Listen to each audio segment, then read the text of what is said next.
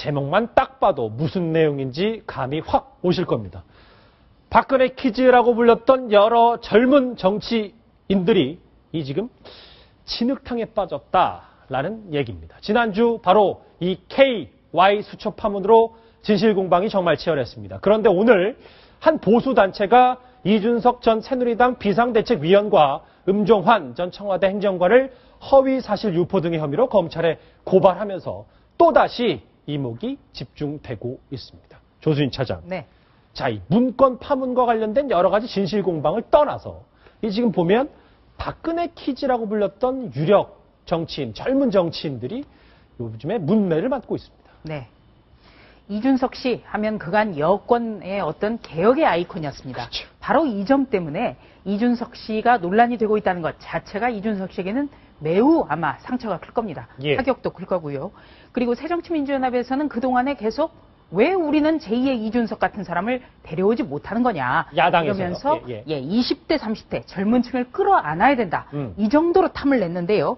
이번 파문에서 이준석 씨는 이 음종환 전 청와대 행정관에게 사적인 술자리에서 들은 내용을 아무리 그 내용이 위중하다 하더라도 김무성 대표 등 다른 사람에게 옮깁니다. 그래서 이번 파문이 커졌기 때문에 이것이 과연 낡은 정치와는 무엇이 다르냐 이런 비판을 떨칠 수는 없어 보입니다. 예, 뭐 이준석 씨가 뭐 SNS를 통해서 여러 가지 의견도 올렸는데 한번 보실까요?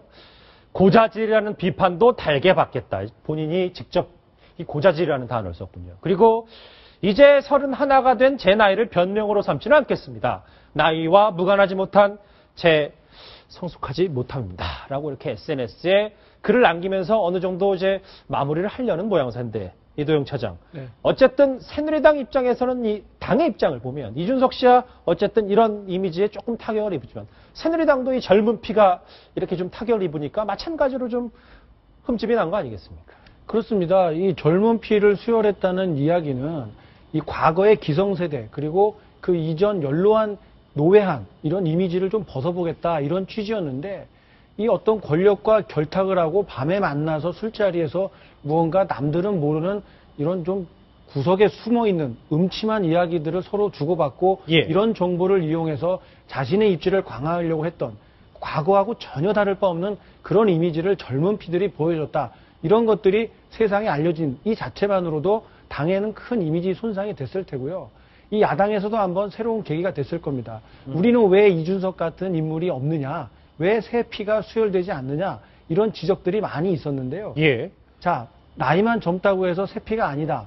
진정하게 새로운 의식을 갖고 새로운 마음을 가지고 행동하는 이런 진짜 젊은 피를 제대로 골라야겠다. 이런 생각들을 하시지 않을까 좀 기대하고 있습니다. 예, 조진 차장 말씀해 네. 이번에 그 음종환 전 청와대 행정관으로부터 그 문건 유출의 배후는 바로 김무성 대표다. 대구의 유력 정치인인 유승민 의원이다. 음. 네. 이런 대화가 오고 갔다는 이 술자리의 시간도 좀 문제가 되고 있는데요. 몇 시입니까? 네. 바로 새벽 1시 이후였습니다. 음. 네. 이 자리에 동석했던 사람, 새누리당 비대위원이었던 이준석 씨가 있고, 예. 또 지난 총선에서 대구에 아, 부산 사상에 나와서 대선 후보인 문재인 의원과 맞붙었던 손수조 씨도 있고요. 예. 또 대통령 직속 청년위원장도 있습니다. 그래서 많은 사람들이 저한테 물어봅니다. 대체 이 개혁의 아이콘들로 불렸던 사람들이 새벽 1시 이후까지 대체 뭘 하고 다니느냐. 이것이 개혁이냐. 예. 정말 실망했다. 이런 분들이 정말 많습니다. 어쨌든 두 분 말씀 공통점은 이 젊은 피들이 구태의연하다는 건데 이 청년, 젊은 피에 소가리하는 거는 새누리당만은 일은 아닙니다. 새정치민주연합 청년 비례의원들도 과거에 구설수에 올랐던 내용이 있는데 직접 화면으로 보시겠습니다. 다른 일을 그만두고 계속 영상 중계 화면 배만 띄워라. 외부로 송출하는 화면 안 된다. 해경이 말하지만 카톡으로라도 해서라도 보내라. 요청을 해보겠다 하니까 청와대가 이렇게 말합니다. 내가 요청을 하는 게 아니다. VIP가 그걸 제일 좋아하고 그게 제일 중요하니까 그거부터 해라. 라고 끊임없이 말합니다. 다른 일을 할 수가 없게 만들죠. 조수진 차장. 네. 당시 여름이었는데 6개월 전에 김광진 의원이 VIP가 좋아하니까 그것만 하라라고 해서 저것도 외도해서 상당히 시끌시끌했는데 결국 뭐 사과하다고 그러지 않았습니까? 예, 사과는 무슨 어, 진정성이 담겨야 되는데요. 그냥 의례적인 사과였다는 점도 역시 논란이 됐습니다. 예. 네, 김광진 의원 하면은 이 부적절한 발언을 너무 많이 해서 굉장히 문제가 된 분인데 예. 이분이 바로 새정치민주연합의 청년 비례대표로 국회에 입성을 했습니다. 예. 네, 81년생이니까 아직 30대 초반입니다. 그렇죠. 예. 지금 보신 화- 장면은요. 작년 여름에 세월호 침몰 사고 진상규명 국정조사 때 청와대가 대통령이 원하는 화면을 계속 해경에 압박하다가 해경이 구조 활동을 제대로 못했다. 음. 이런 주장입니다. 바로 이 점 때문에 국조특위가 한동안 공전을 했고요. 예. 제가 몇 가지 그 김광진 의원이 했던 발언을 좀 적어가지고 나왔습니다. 첫 번째는 세소는 뭔가요? 명박급사. 네, 이 표현 아마 떠올리시는 분 많을 겁니다. 바로 이명박 어, 대통령을 향해서 한 발언인데요. 맞습니다. 이 예. 글이 트위터에 어떤 그 올라왔던 글인데 이것을 김광진 의원이 리트윗했다고 굉장히 논란을 빚었고요. 두 번째로는 대한민국 어버이 연합이라는 단체 하실 겁니다. 여기에 대해서 김광진 의원이 이 방송으로 그냥 옮겨도 굉장히 부적절한 것 같은데요. 나이를 처먹었으면 곱게 처먹어. 당신 같은 어버이 둔 적 없어. 잠시만요. 그거는 지금 김광진 의원이 얘기한 거죠. 그렇습니다. 그만큼 선정적으로. 김광진 의원이 바로 글을 이런 내용을 트위터에 띄웠기 때문에 네, 제가 그대로 옮겨드리는 겁니다. 아유. 네, 그리고요. 말도 했었군요. 예.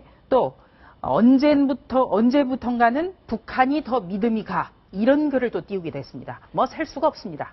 김광진 의원과 마찬가지로 청년 비례 의원, 대표 의원으로 됐던 이제 장하나 의원도 예전에 이 신문에 본인이 대통령은 사퇴하라, 보궐선거 실시하라라는 내용과 함께 여러 가지 SNS에 본인의 정치적 신념을 주장했는데 당시에 야당에서도 내부에 상당히 비판의 목소리가 많았고 골칫덩이다라는 얘기도 참 많았었습니다. 네.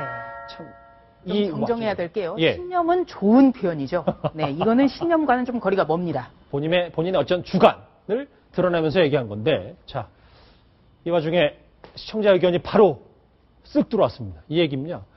박근혜 키즈라고 하는 젊은 정치 입문생들 너무 커버린 것 아닌가요? 이들을 잘 키울 수 있는 방법 없는 건가요? 일단 이거는 조수인 차장에게 질문하겠습니다. 네.